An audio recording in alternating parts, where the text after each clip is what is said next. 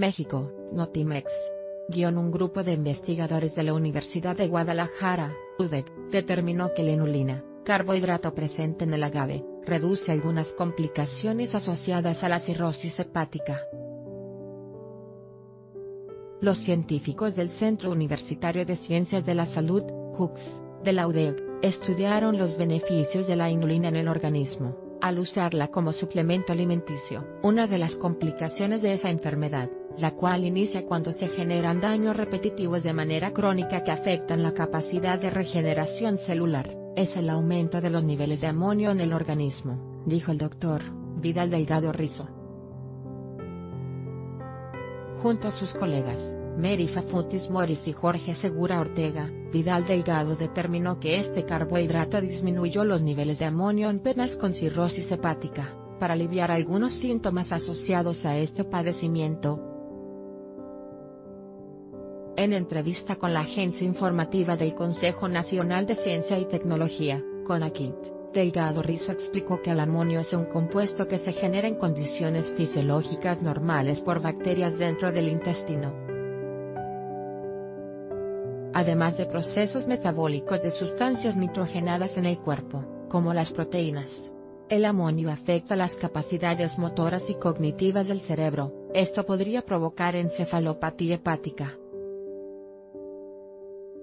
No obstante, Señaló que un hígado sano lo puede metabolizar y convertir esta sustancia en urea, que luego es eliminada por la orina. La inulina ingerida, dijo el médico, es usada como alimento para las bacterias. Esto produce un cambio en la microbiota del intestino y ayuda a la disminución y absorción de amonio. Para probar los efectos del carbohidrato, los investigadores suministraron la inulina como suplemento alimenticio en pacientes bajo la responsabilidad del médico especialista Jorge Segura Ortega. En el experimento, donde se analizaron los niveles de amonio, participaron dos grupos de personas, uno tomó inulina disuelta en agua tres veces al día, mientras el otro ingirió lactulosa, una sustancia comercial usada para disminuir el amonio en el torrente sanguíneo. Hicimos los análisis, Recopilamos los datos de cada grupo y descubrimos que la inulina de agave disminuía más los niveles de amonio que la lactulosa.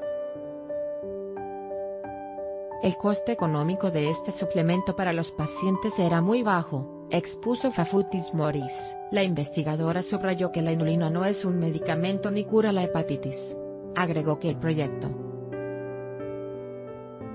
el cual solo contempló analizar la disminución de amonio, buscará conocer si este suplemento alimenticio tiene algún beneficio en las funciones inmunológicas. Los resultados derivaron en una solicitud de patente, que busca registrar el uso de la inulina como suplemento alimenticio contra manifestaciones clínicas provocadas por la cirrosis hepática.